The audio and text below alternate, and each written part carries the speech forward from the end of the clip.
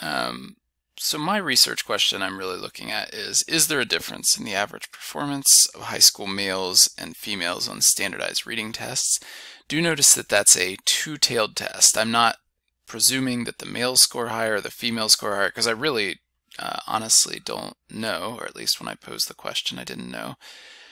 Um, you could also do a left-tailed or a right-tailed uh, test if you wanted. For example, do males tend to score higher than females on standardized reading tests? Or do females tend to score higher than males on standardized reading tests? Um, so feel free to do whatever question seems to jump out at you most around that particular data set. Uh, my null hypothesis, null means nothing, so it means nothing going on, no difference between the two groups. Uh, in other words, if I took the male average minus the female average, I would just get zero because they'd be the exact same number. The alternative is that they're not the same. They're not scoring the same on these tests. In other words, if I subtracted, I might get a negative number, I might get a positive number, but I wouldn't get zero. I'm doing a level of significance of 0.05. Um, you can pretty much copy my answers on the first couple assumptions. Uh, you may have slightly different thing on the third one, and then on the fourth one, you can also uh, say the maybe don't use my words exactly, but you can use the basic gist of this. So the only one that might be slightly different for you is assumption three. Um, moving on to step D, here's where we're going to actually conduct the test. So I'm going to go to the data set.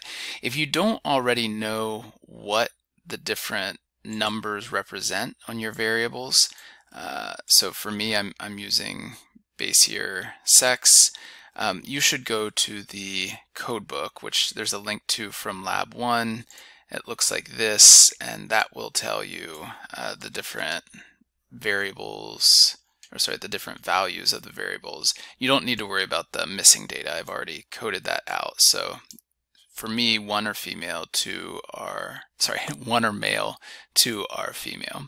So if I go up to here, uh, analyze, compare means, I'm going to run an independent samples t-test. The grouping variable is going to be your nominal variable. Um, and then your scale variable here will go up at test. Uh, you do then need to click on this grouping variable to find the groups. Uh, here's where if you're doing say something like race that has seven different categories, you could pick the two that you're going to compare. In my case, I only have the two. So we'll say group one, the males, uh, group two, the females, and continue. Um, there's nothing really you need to do here, so click OK. And I should get two tests. I'm going to copy both of those into my lab report.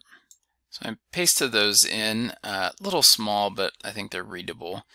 Uh, e, the degrees of freedom, I initially had gone with kind of the easy method that the book mentioned, which is you take your smaller sample and then you subtract one from it, and that, that's kind of a rule of thumb, degrees of freedom. Uh, but since we have the SPSS output, we can use the more complicated formula, which does give us a more accurate degrees of freedom. Uh, we do want to make sure that we're not assuming the equal variances here.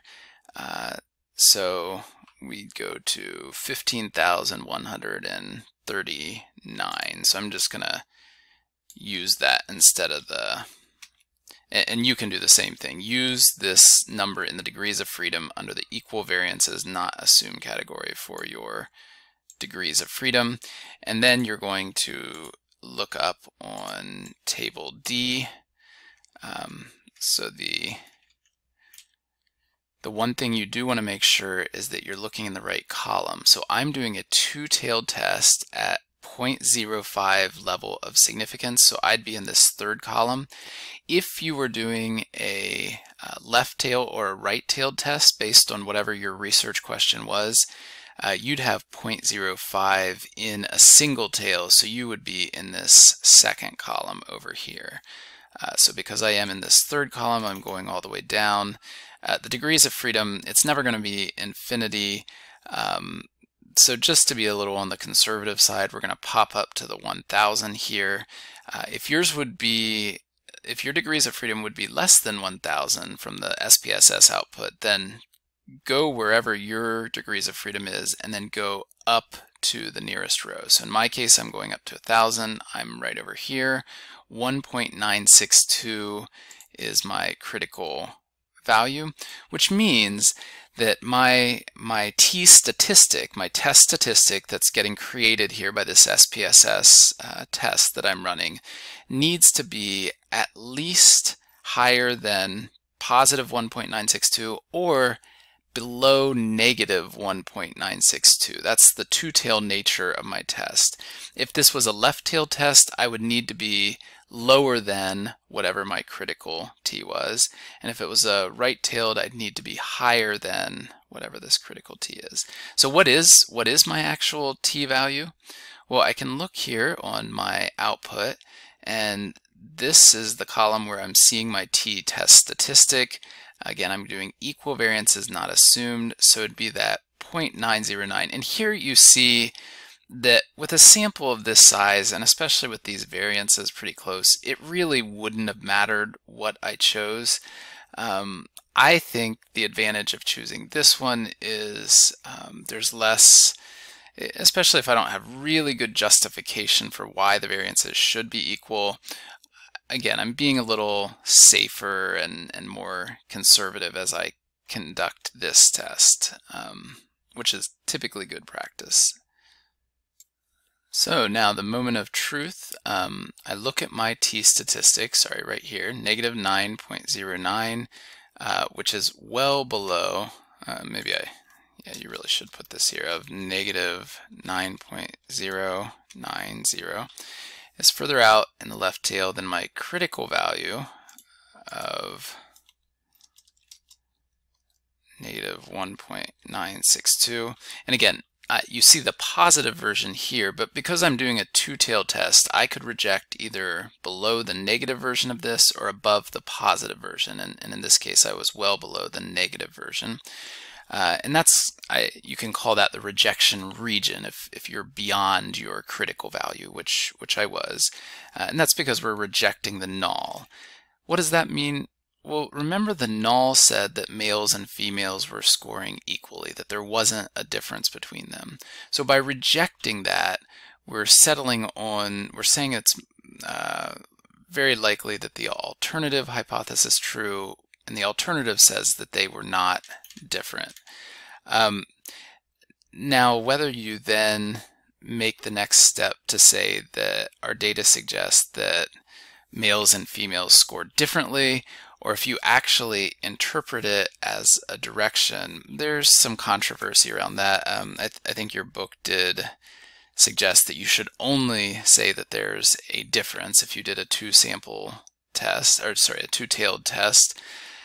Uh, I I disagree with that. I think that you you can go ahead and say the direction because you have this confidence interval right here uh, that's telling you not only did we find a statistically significant difference, uh, but we're also 95% sure that the males are scoring between 1.2 and 1.8 eight points lower than the females. How did I know that it was the males scoring lower than the females and not the females scoring lower than the males? Um, honestly, I did that way back in the descriptives. Remember we knew that the mean for the males was 49.8 and the mean for the females was 51.3. So from that point on, I knew that that in the sample the males were scoring lower than the females. I didn't know it was statistically significant until now. I mean, this tells me that we can be sure that that was a nationwide uh, pattern, not just one that we saw in these 15, 16,000 students. And, and we can also be sure that, are pretty sure, 95% confident that nationwide uh, for, for students who were sophomores in 2002, that the the males were scoring 1.2 to 1.8 points uh, lower than the females. And and when I say points, I mean the scale they were using for that standardized reading test, um, which I, I can't remember exactly, but ranged something from like 15 points up to something in the in the 80s. If if you would go uh, because this is a controversial issue, if you would have an answer that says uh, something like our data suggests that there is a difference between the two groups, but we don't know in which direction. We'd have to conduct a one-tailed test uh, to find that out. Um, because the book teaches that, I, I would uh, also accept that answer. Similarly, if on a test you would ever put something like this where you do interpret the direction of a two-tailed test um, and, and Hawkes would count that wrong, uh, make sure you let me know because I would give you credit either way. Uh, again, because I think there is justification to either argument there. It's it's more how you how you view it. Oh, and if you were paying attention at all to this stuff down here, please don't. That this was all uh, this was all stuff from the previous lab. So